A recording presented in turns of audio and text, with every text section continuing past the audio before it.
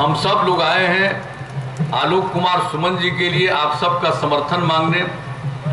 सभी नेताओं ने यहाँ इस संबंध में विस्तृत चर्चा कर दी है। जब आलोक कुमार सुमन जी को आप चुनिएगा सांसद के रूप में, केंद्र में फिर से मोदी जी के नेतृत्व में एनडीए की सरकार बनेगी।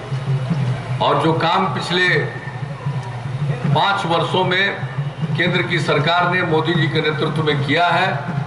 उससे देश की इज़्ज़त और प्रतिष्ठा बढ़ी है, मान और शान बढ़ा है, और जो कुछ भी कार्रवाई आतंकवाद के खिलाफ हुआ है, उसके चलते सभी देशवासियों का मनोबल ऊँचा हो।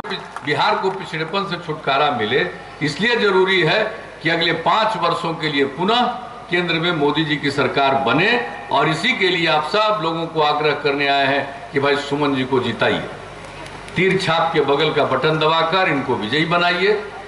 और हम लोग तो केंद्र सरकार काम कर रही है और बिहार में हम लोग तेरह साल से काम कर रहे हैं। सबकी सेवा कर रहे हैं। सभी इलाके का विकास कर रहे हैं।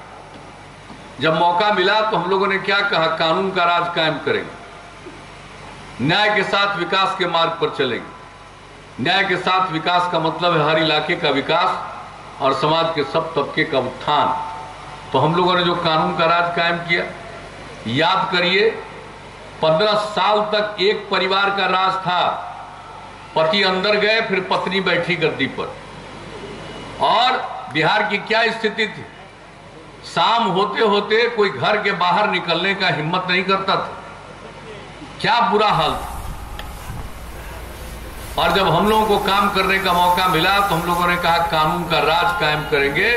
जंगल राज का खात्मा किया, कानून का राज कायम हुआ। कि कैसी छवि बना दी थी। पति पत्नी राज ने पूरे देश में कि अगर बिहार का आदमी कोई बाहर जाता था तो संकोच करता था। ये बताने में कि हम बिहार के रहने वाले हैं। संकोच था मन में। बिहार के लोगों का लोग मज़ाक उड़ाते थे। और जब आप लोगों ने हम लोगों को मौका दिया, बिहार में इतना काम हुआ कि अब बिहार का आदमी बिहार के बाहर जाता है तो शान के साथ कहता है कि हम बिहार के रहने वाले हैं, हम बिहारी हैं। ये परिवर्तन आया यहाँ से लेकर बाहर तक देख लीजिए बिहार की छवि के बारे में। और हर इलाके का, कोई इलाके की उपेक्षा हम लोगों ने नहीं की। हर इलाके के विकास के लिए काम किया।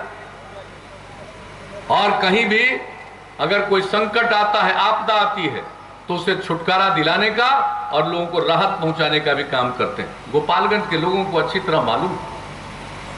तो हम लोग हर काम को करते हैं। लोगों ने इसका लाभ उठा लिया।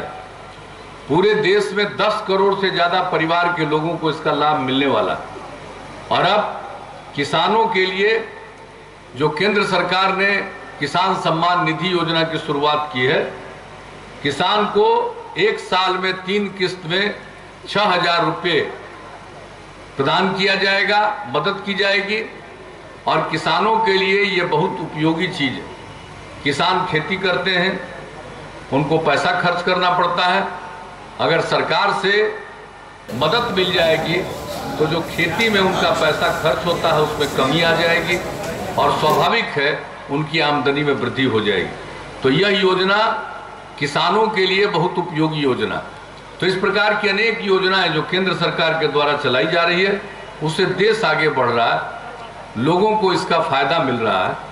और बिहार के लिए जो केंद्र सरकार ने मदद की है, बिहार को पिछड़ेपन से छुटकारा दिलाने में, अकेले सड़क के क्षेत्र में, अनेक सड़कों को केंद्र सरकार ने राष्ट्रीय राजमार्ग के रूप में अपनाया।